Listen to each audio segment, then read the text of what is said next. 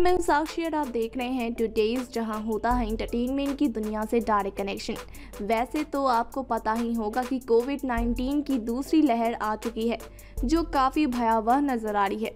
आपको बता दें कि इस साल कई बड़ी फ़िल्में रिलीज़ होने वाली थी और कई की रिलीज़ डेट तक अनाउंस हो चुकी थी।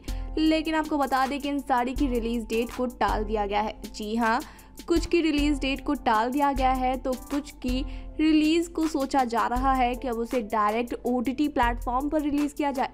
जी हाँ हाल ही में कुछ ऐसी फ़िल्में हैं जो ओटीटी पर आ चुकी हैं, जैसे कि त्रिभंगा, पगलेट, बिग बुल।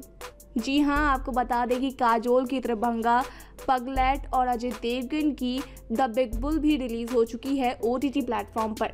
वहीं आपको बता दें कि अब अगली फ़िल्म आपको ओ टी प्लेटफॉर्म पर ही देखने को मिलेगी। जी हाँ तूफ़ान। राकेश ओम प्रकाश के निर्देशन में बनी तूफ़ान, अब आपको देखने को मिलेगी ओ टी प्लेटफॉर्म पर। तूफ़ान में आपको फरहान अख्तर नज़र आएँगे। वैसे आपको बता दें कि यह फ़िल्म स्पोर्ट्स ड्रामा पर बेस्ड है और ओ टी प्लेटफॉर्म ने इस फ़िल्म को 110 करोड़ रुपए में खरीदा है। अब देखना ये है कि यह फ़िल्म कब तक ओ टी प्लेटफॉर्म पर देखने को मिलेगी आपको।